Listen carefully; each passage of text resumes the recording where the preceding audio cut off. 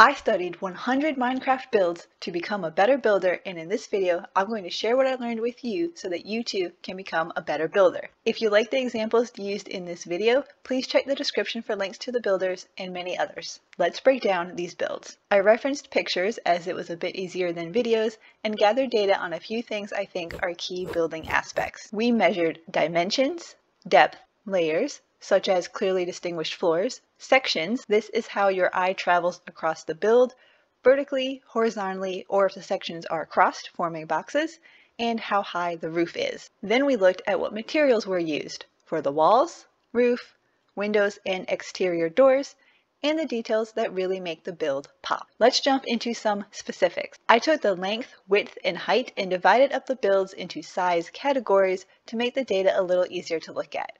Size extra small averages 7 by 7 by 6. Small averages 9 by 8 by 6. Size medium is 14 by 11 by 8. Large is 21 by 15 by 15. And extra large averages 27 by 15 by 13.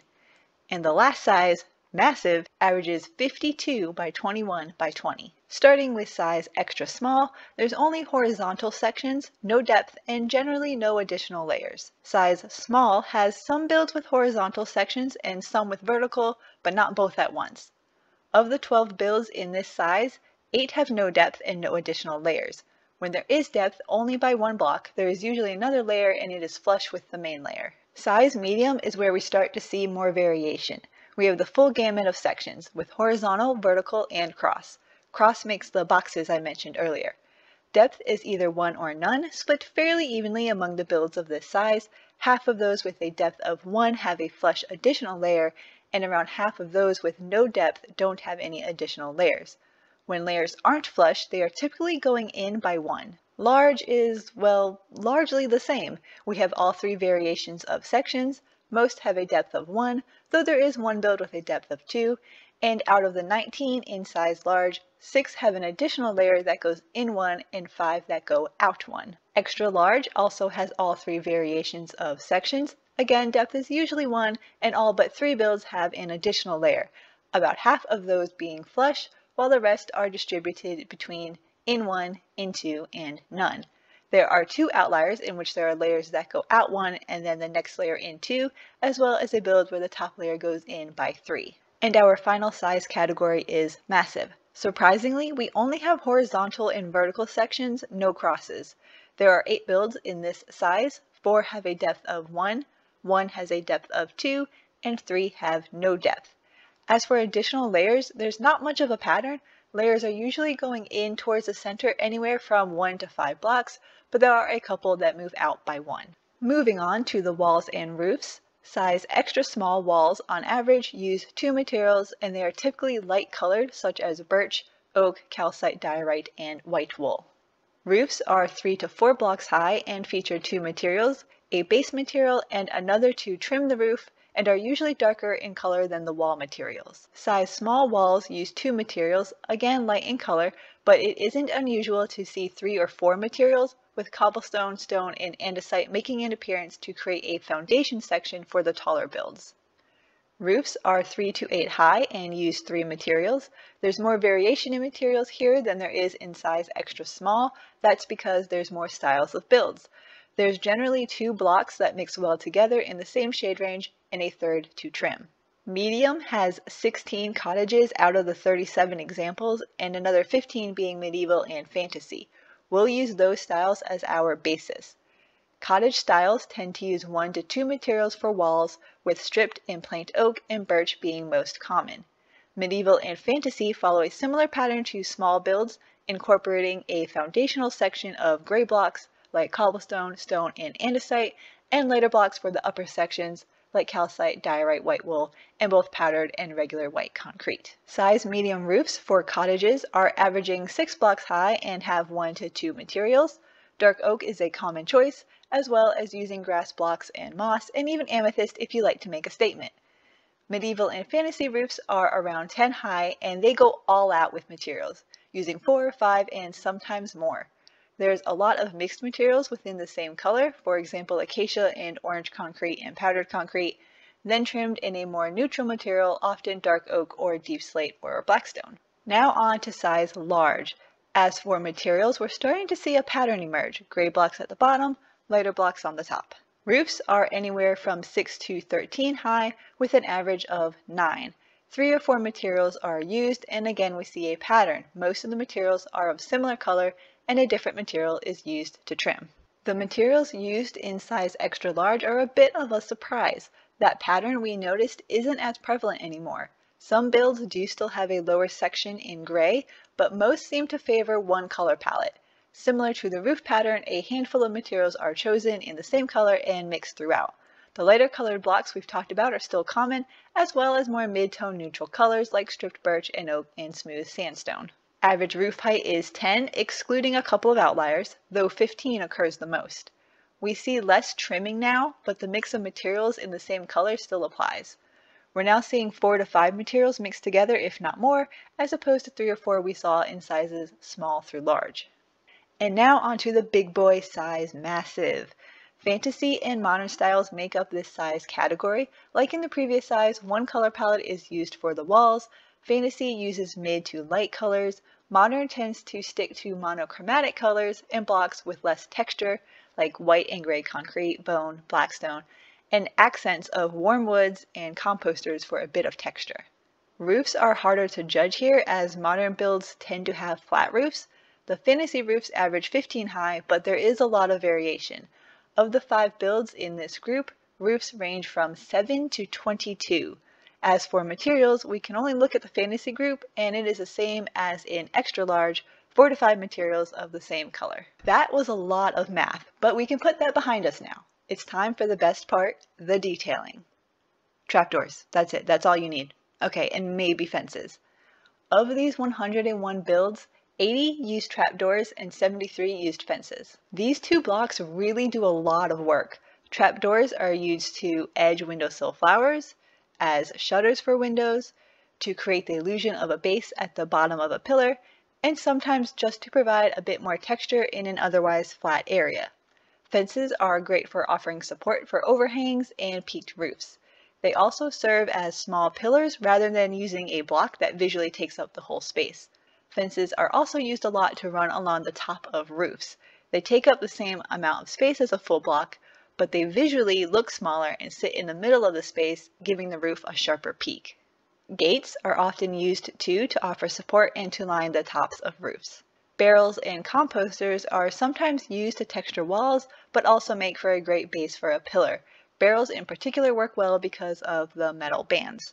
Logs and buttons go together too. If you have a beam where the end is exposed, showing that log texture of the tree rings, adding a button makes it look like there's something nailing the beam in place. Signs, like trapdoors, are good for edging flower beds. Anvils and lecterns start to make an appearance in builds size medium and up. Anvils work well to line the top of the roof, and lecterns are used to line the edge of a walkway or outcropping on the second floor or higher. Basically, anvils and lecterns are like thick, chunky fences used in a more traditional way.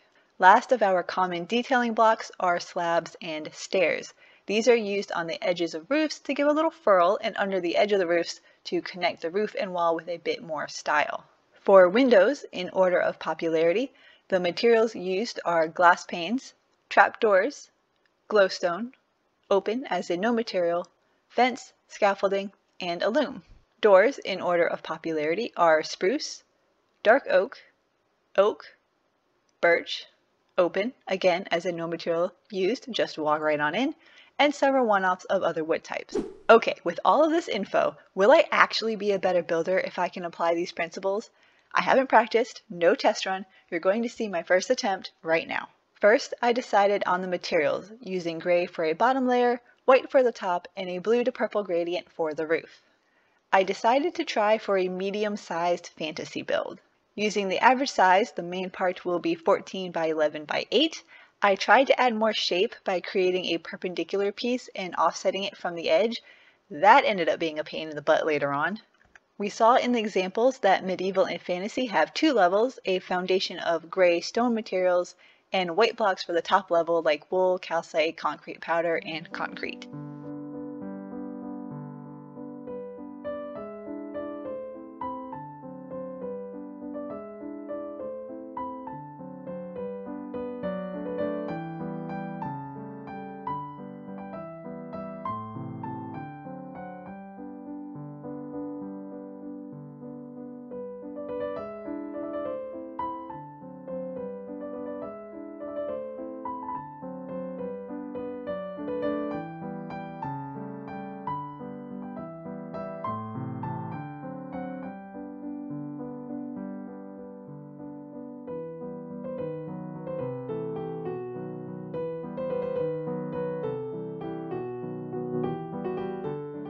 I thought putting a beam to delineate between the foundational layer and the house layer would be a good idea. Because of the weird dimensions of the perpendicular piece, it ended up a bit wonky. This next bit of video is from a first person perspective. You can see my other account person floating around in the background. There was a thunderstorm while I was recording and I lost the footage from the camera account. The average roof height is 10, but since this roof is peaked in the center, I made it 11 high.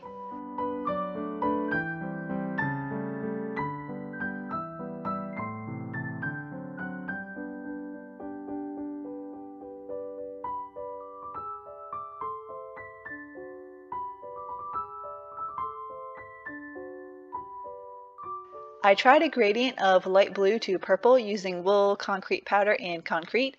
I started with just one color to get the shape right and later replaced blocks to make the gradient. I also outlined the roof in dark oak. Why I thought having the peaks at different heights was a good idea, I don't know, but I guess with a fantasy build, being a little off is part of the charm.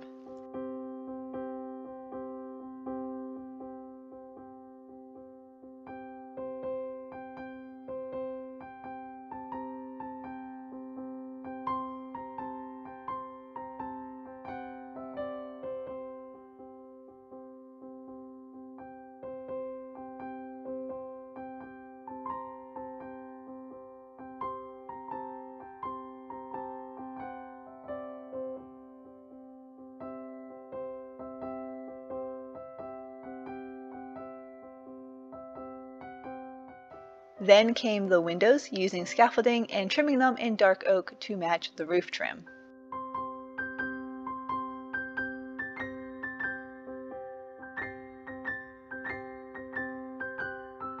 I felt like the foundation layer was too chunky, so I broke it up with arched entryways. But having so much open space underneath and being able to see through didn't feel right either, and I ended up building some interior in order to get the look right. Now the bottom is sort of like a storage area along the outer edge and in the center it's more living space and of course the ever popular spruce door. 37 of the 101 builds had a spruce door which might not seem like a lot but considering the range of options it definitely showed up the most. The windows needed some color with plants and I used trapdoors to edge. They really do so much work with so little effort. Earlier we said beams and buttons go together, so I went around the house and I put a button on the exposed log end. I replaced the bottom of the pillars with a composter for the illusion of a stronger base. After decorating the top of the roof a bit more, I decided to really go for it and do a little flourish at the ends of the peaks. It took a few tries and lots of checking that I was doing it the same each time, but we got there in the end and now my house has horns. I'm not mad at it though. Stepping back from the build, I realized you can't really see the buttons on the logs, so I changed them from oak to dark oak. I added a few finishing touches with a muddy path and a few splashes of leaves dripping from the beams and built up in the corners.